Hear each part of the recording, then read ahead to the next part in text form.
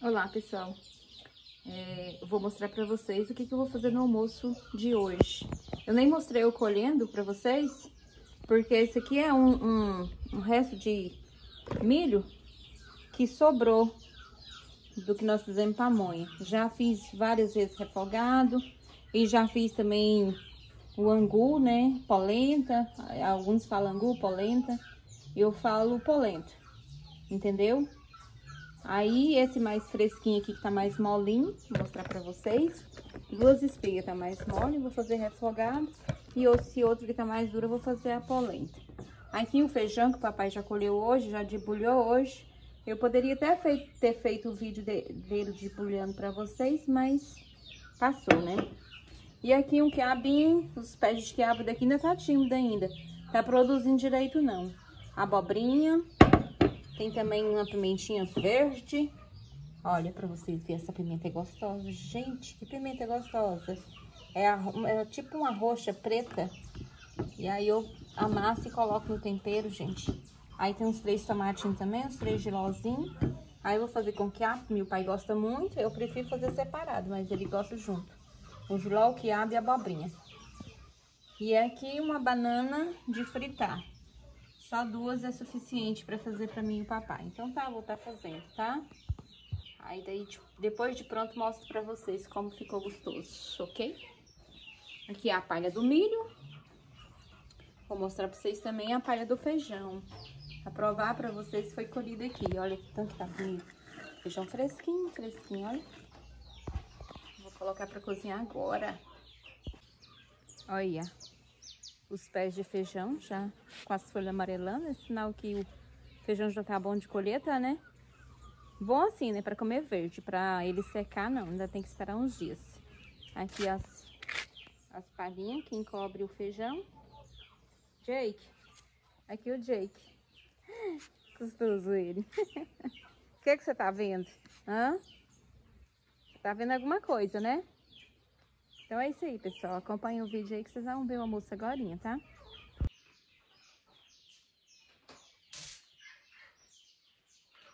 Vou colocar o feijão.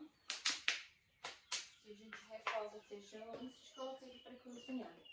Aqui, gente, o tempero, ó. Aí, às vezes, a gente compra muito alho. Pra não perder, eu pego e faço o tempero. Olha que fica bonito, ó. Já coloco o alho, a cebola, né? Cebola eu coloco um pouquinho, que é pra não perder o tempero. E coloco a pimenta verde, um cheiro verde. E aí na hora de fazer a comida o tempero tá pronto, é bem rápido. Aí aqui eu vou lavar os quiabos. Vou lavar os quiabos e a abobrinha e o tomatinho. Dá pra pegar tudo, mas é isso que eu tô fazendo agora.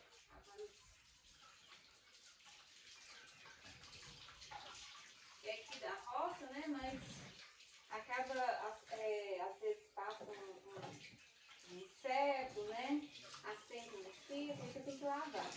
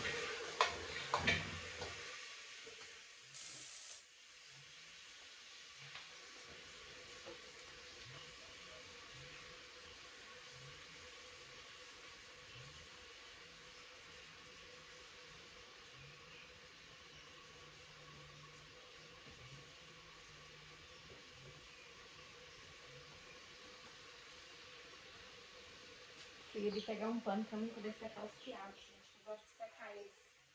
Pra não... Ajuda ele não babar. Acabamento. E também, outro segredo também é, é fritar ele bem fritinho. Antes de colocar a água.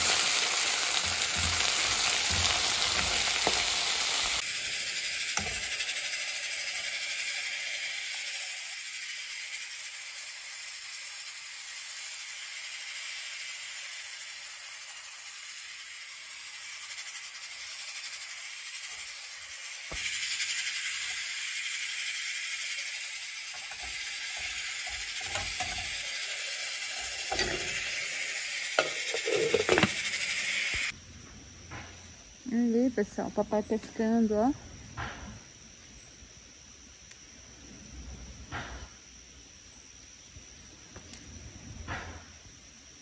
Chorão? Chorão. Engoliu o trem lá no bolso. Ele chama chorão porque ele chora? É, esse, esse aqui não é bem o chorão, não. Esse é o bagre. É o bagre. O chorão, ele dá um chiadinho. Tchim, tchim, tchim, tchim, tchim. É? É. Ai, ai. Esse aqui não tem. Não sai não, papai? Engoliu desse jeito?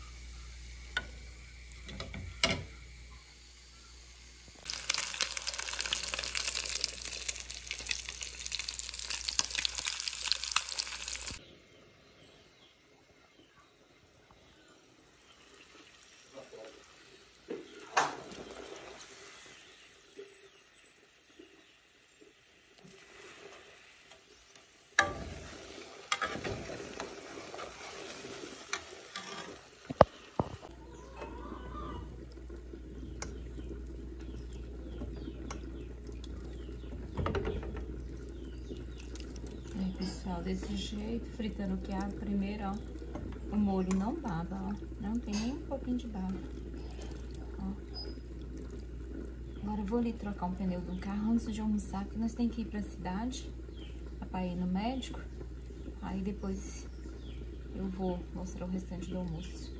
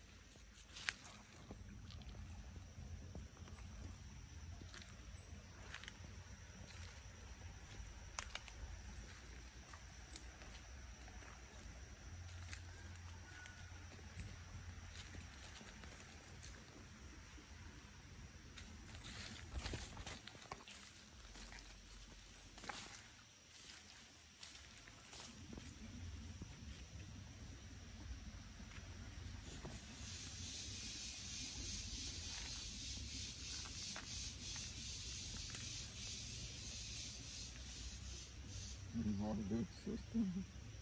Você assustou? O que você tá fazendo? Pescando um chorãozinho aqui, uma balinha. É? Tá pegando?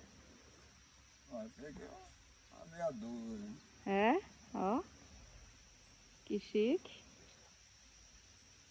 As nozinhas pequenas demais, eles engolem. Engola a isca? Bota vai parar lá no, no bolso do bicho. Ah, ó. Tá puxando.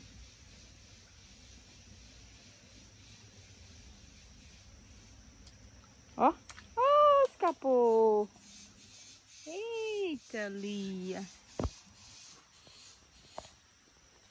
Ai, e o medo do celular cair dentro d'água, hein? Hum. Deixa eu filmar aqui pra vocês verem os peixinhos aqui dentro, que ele já pegou.